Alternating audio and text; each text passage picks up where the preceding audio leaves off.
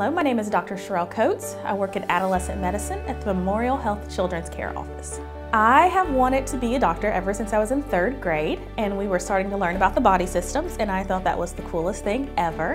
And then my interest just kept building and building from there to of course the science aspect but then also just the aspect of helping other people. I went to medical school at the University of Texas Health Science Center in San Antonio. From there I did a residency program in pediatrics at the University of Alabama at Birmingham and then I did my adolescent medicine training at Cincinnati Children's before coming here as the adolescent medicine specialist.